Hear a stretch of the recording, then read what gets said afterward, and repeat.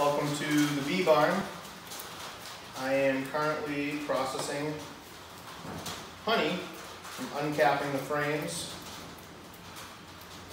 Pretty rainy day. Got out there before the rain this morning and was able to grab a bunch of these out of the hives. be honest, the year started off really, really slow. Still is kind of a lot less honey than I was hoping for um, due to all the the mild weather with no rain and humidity and stuff. The plants kind of didn't didn't take off and there wasn't a lot of flowers and that reduces the nectar flow, which in turn, unfortunately, reduces the honey flow. The last couple weeks have been kind of have been pretty good, um, thankfully. So it's letting us salvage hopefully the season It was kind of a building year for us on the farm. We went from nine hives last year to 20 hives this year. Um, so a little bit of a learning curve with this many hives. Any, any beekeeper knows you never have enough boxes or frames, so I've been spinning and throwing them back into the hives as quickly as I can. Try to stay ahead of it. But all in all, the the, the hives are doing pretty good. Really strong colonies coming into September here, so we'll see.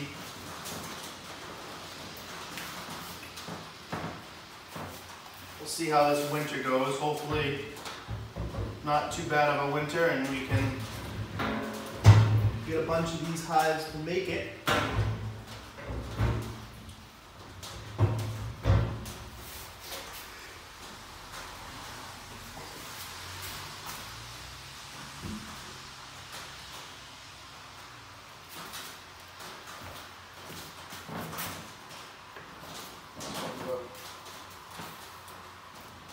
Want to do a video on this spinner as well. It's a, a new spinner. I'm finally not doing it by hand.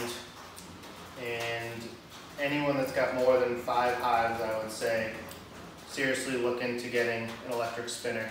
It is one of the best investments I've ever made on bee equipment.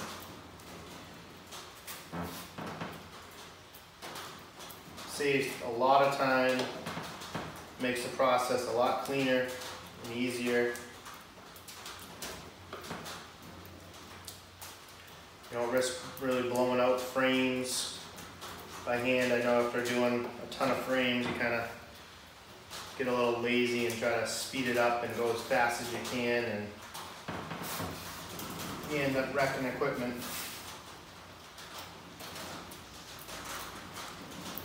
But this is our process. I know a lot of people probably do it differently.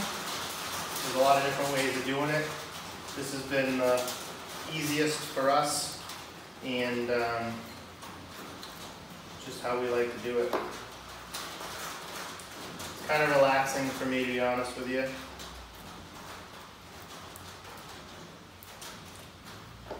I did about 70 pounds of honey yesterday. If I could get 50 or 60 today, that'll be good. A lot of the, um, there are still honey in the hives. I didn't take all of it today. we're not taking all of it either. We're leaving stuff for the bees. We're only taking really what they don't need.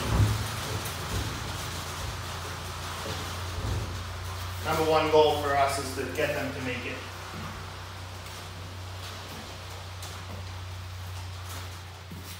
So the really cool thing about this Maxant spinner is I can do six medium frames all at once and the way it's radially done um, I don't have to take the frames out and put them the opposite direction like I used to on my old hand crank.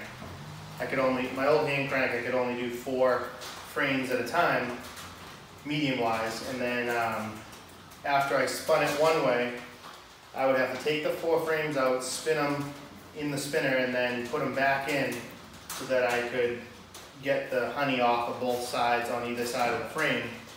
Where this one, the way they're radially centered, I do not need to do that. I can just put the six frames in, set it, and walk away for a little bit, come back in fifteen minutes or so and they're bone dry.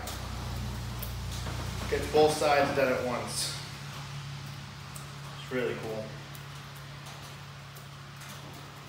I can do three deeps as well uh, at a time, and um, technically I could do up to nine mediums, but I don't want to overdo it.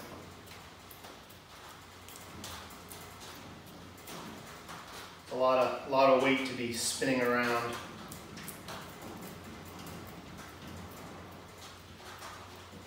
The really cool thing about this storage unit that we got, that I'm calling the bee barn, is it's got a wood floor, so I was able to screw the spinner right to the floor.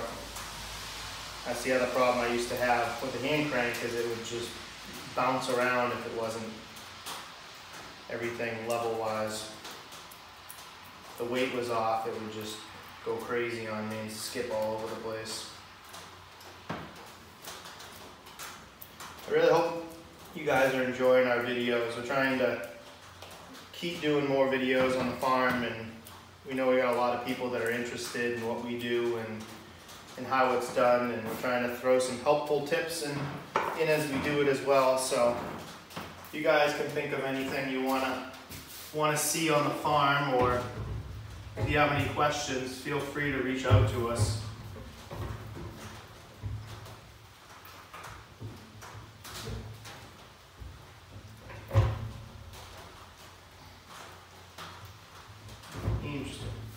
problem that